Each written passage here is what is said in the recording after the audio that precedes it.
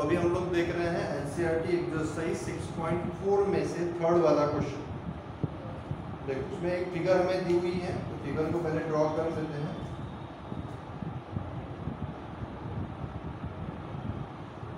कौन सा शेप है ये?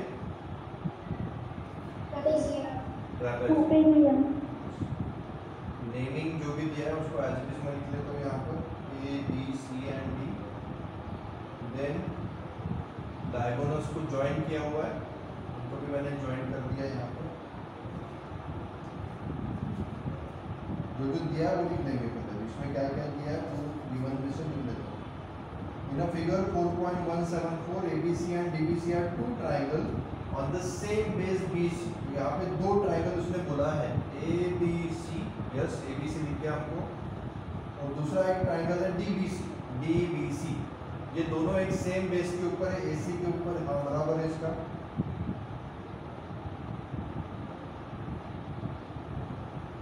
सेम बेस BC बोल रहा है ABC and DBC ABC and DBC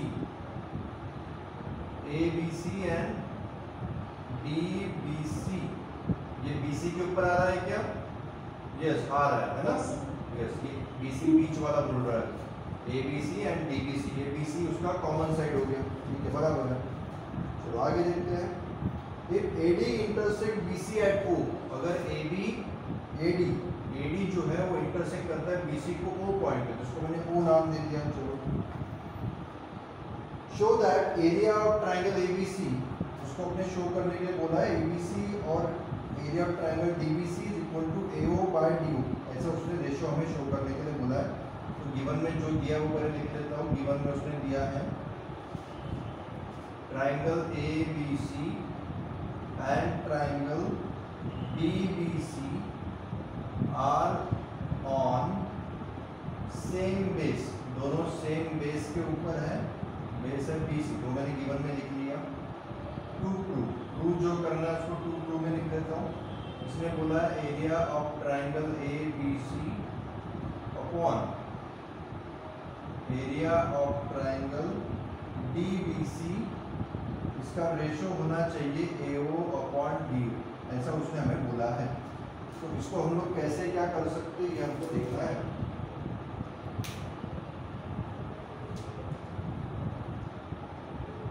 चलो देखते हैं, करके देखेंगे कैसे हो सकता है प्रूफ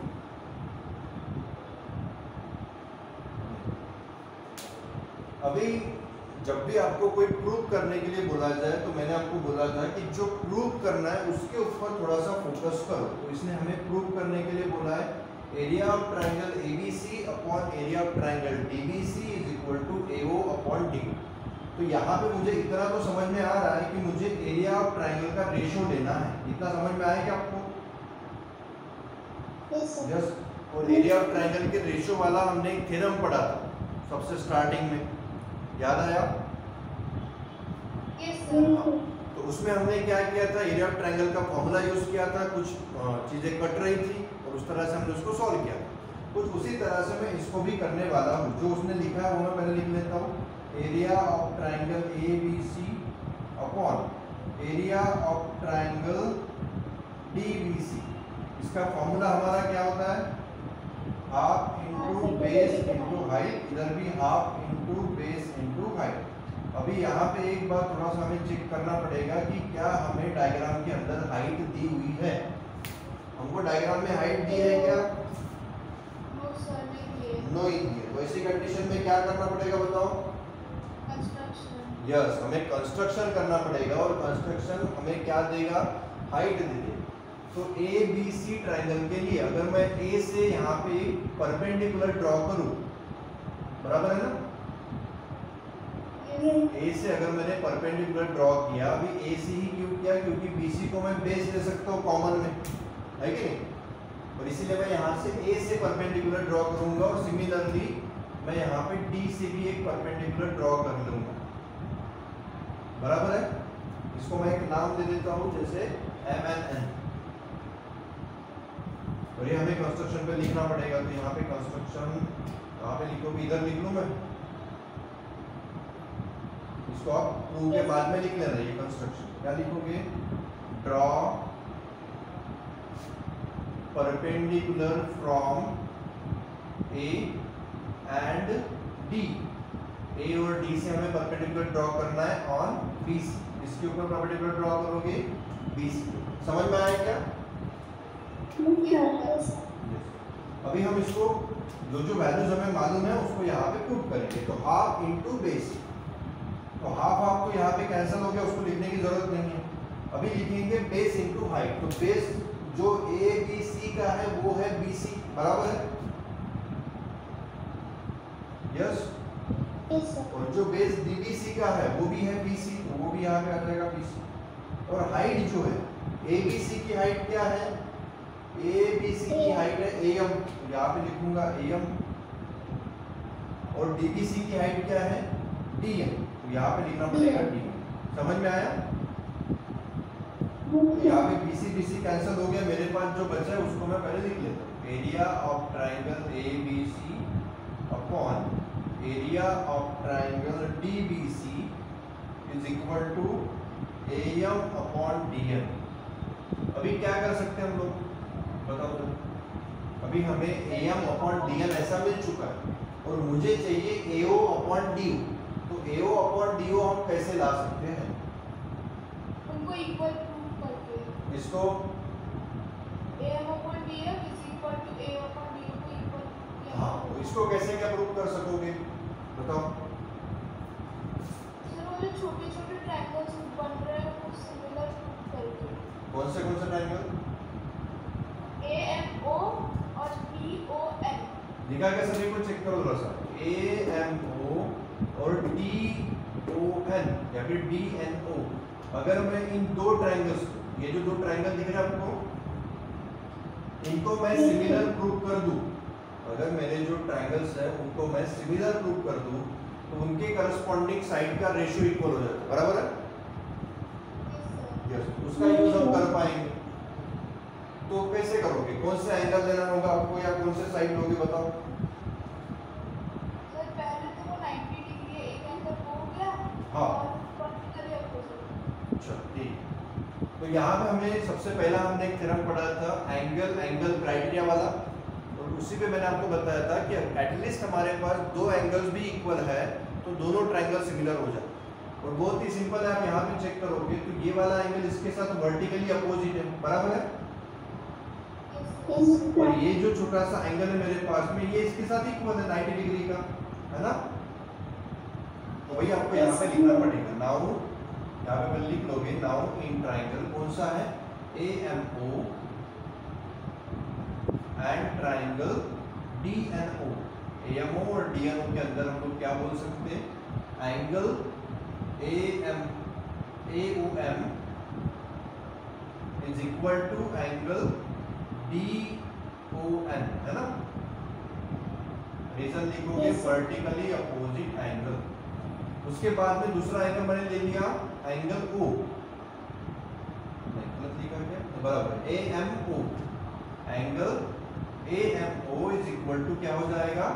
डी एन इसका रीजन क्या लिखोगे ईच 90 दोनों आपके जो है वो 90 डिग्री के ही है। कंस्ट्रक्शन भी लिख सकते हो आप उसका रीजन और हमें यहाँ पे जो दो एंगल्स मिले हैं वो इक्वल है। वो दोनों एंगल इक्वल है। इसका मतलब हो गया both the triangle are similar to each other तो बराबर करस्पॉन्डेंस बराबर लिखना।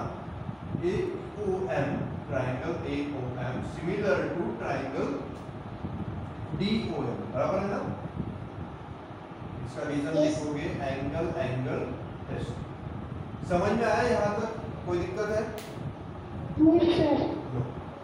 अभी हमने देखा था कि अगर हमारे पास दो ट्राइंगल सिमिलर है तो उसके करस्पॉन्डिंग एंगल इक्वल होते हैं।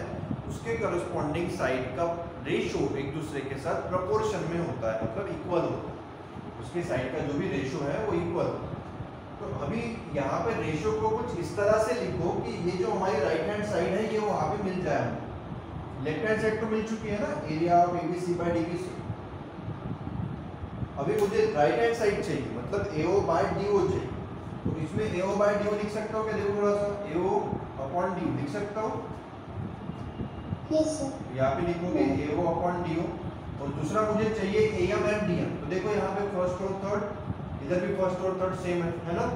तो मैं यहाँ पे लिख सकता हूँ A M by D M बराबर है कि ये?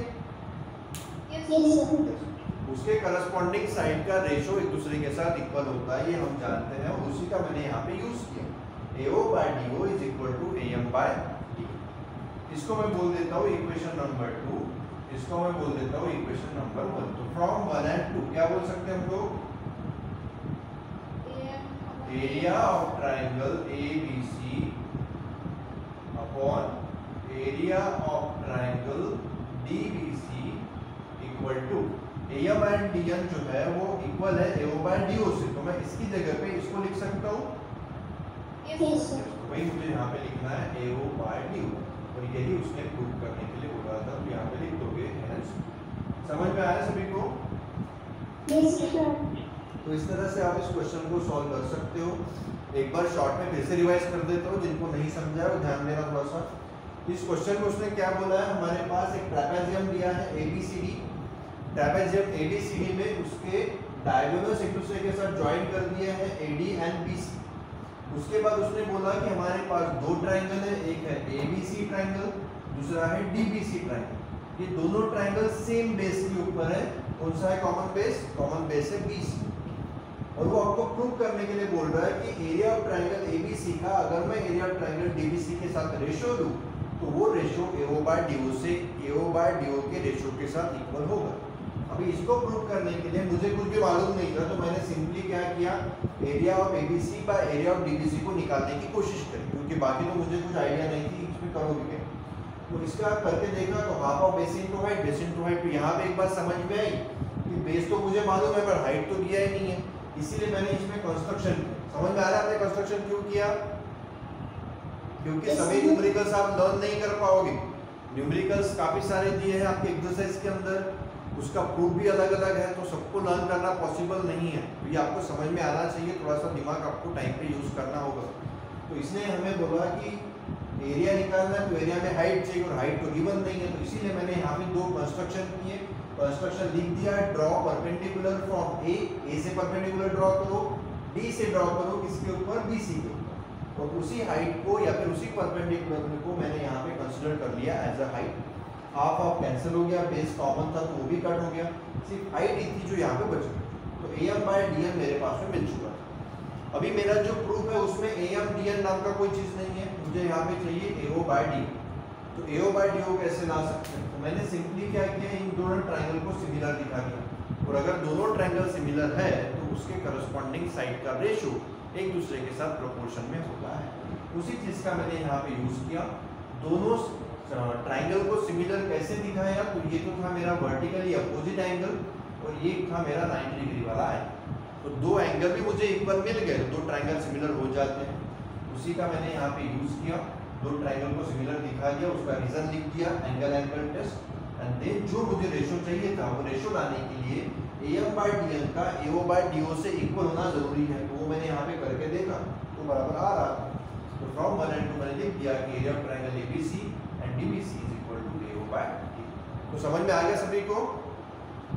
तो आप इस तरह से इस तो हमारा जो नेक्स्ट थ्योरम दिया है वो है theorem theorem number 6.8 from NCERT book जो दिया है आपके पेज नंबर 145 पे। स्टेटमेंट पढ़ता हूँ और आपको एक्सप्लेन करता हूँ कि इसमें एक्चुअल में बोला क्या इन राइट ट्रायंगल अगर हमारे पास कोई राइट ट्रायंगल है the square of hypotenuse is equal to sum of the squares of remaining two sides जो हमारे पास में अगर कोई राइट एंगल ट्राइंगल है तो ये आप काफ़ी दिनों से यूज़ कर रहे हो तो आपके लिए कुछ नया नहीं है बट इसका प्रूफ आपने कभी देखा नहीं।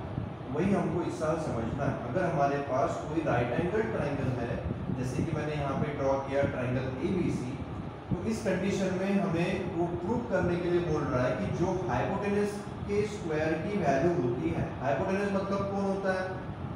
जो हमारा 90 डिग्री का एंगल है, उसके अपोजिट वाली साइड मतलब हाइपोटेनस जैसे 90 के अपोजिट यहाँ पर AC है तो वो मेरा हाइपोटेनस हो जाएगा। तो ए सी का square equal to A B का स्क्वायर प्लस बी सी का स्क्वायर ये हमको उसने प्रूव करने के लिए बोला। ठीक है? तो उसको हमें प्रूव करके दिखाना है। इसका यूज़ तो हम सिक्स सेवन स्टैंडर्ड से कर रहे हैं बट उसको हमने कैसे क्या यूज़ किया, ये हमको पता नहीं था। तो वही प्रूफ हम लोग इस साल पढ़ने वाले हैं, इस थ्योरम के अंदर। तो वो देखेंगे उसको थोड़ा सा उसमें टाइम लगेगा। अभी गिवन और टू टू मैं आपको बता देता हूँ। गिवन कैसे लिखोगे? बताओ ज़रा। Angle ABC is equal to 90. Yes हमको जो उसने दिया होता है वो आपको यहाँ पे लिखना होता। है तो क्या दिया उसने? उसने दिया है कि triangle ABC is a right angle triangle बराबर है? जो उसने बोला है अब यहाँ पे गिवन में लिख लेना। टू प्रूव में क्या लिखोगे? तो यही लिखोगे। ए सी का स्क्वायर इक्वल टू AB का स्क्वायर प्लस BC का स्क्वायर ये आपको खुद ही डायग्राम ड्रॉ करनी है। आप इस ट्राइंगल को अपने मन से पी क्यू आर भी नाम दे सकते हो कोई दिक्कत नहीं है।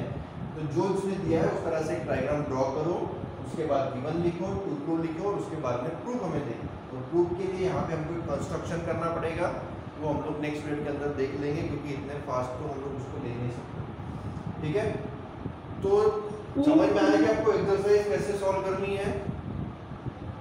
Yes, तो एक्सरसाइज इसके बाद भी आपको एक्सरसाइज दी है थ्योरम 6.8 के बाद तो वो भी आप घर पे ट्राई करना शुरू कर दो।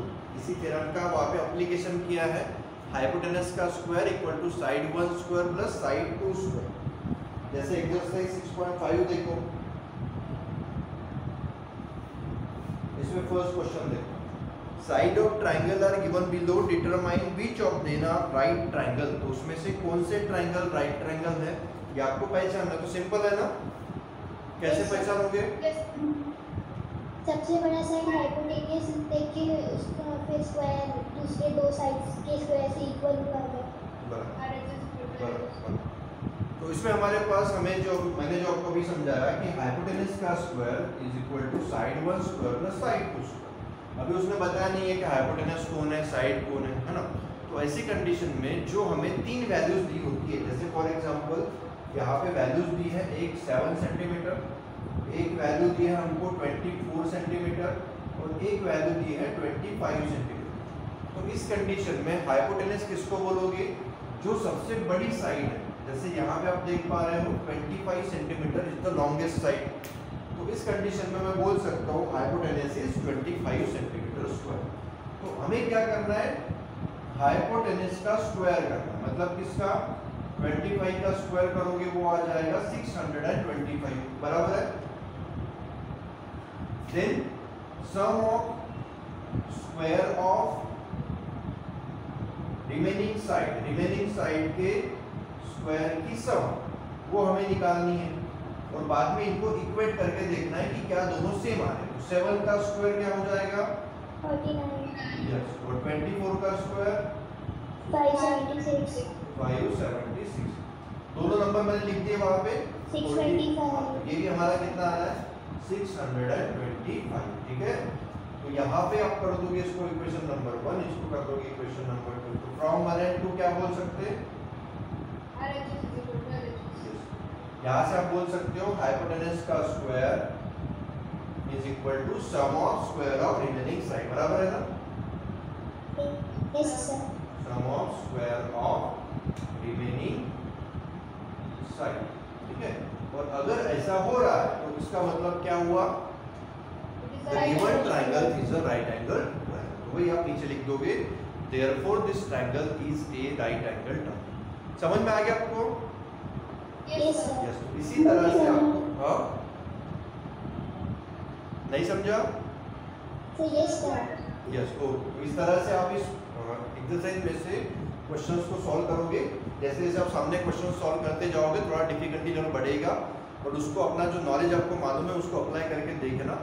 आप कर पाओगे जो भी क्वेश्चंस नहीं कर पाओगे, उसको नोट करके रखना। इसके बाद हमारा जो नेक्स्ट पीरियड होगा, उसमें मैं आपको सबसे पहले तो थेरम एक्सप्लेन कर दूँगा, यही पाइथागोरस थेरम वाला। और उसके बाद ये वाले एक्सरसाइज में से आपके जो भी क्वेश्चंस डाउटफुल रहेंगे, वो मुझे आप चलेगा?